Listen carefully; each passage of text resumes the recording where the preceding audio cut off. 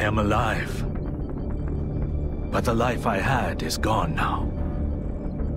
Funny that my life should take such an unexpected path.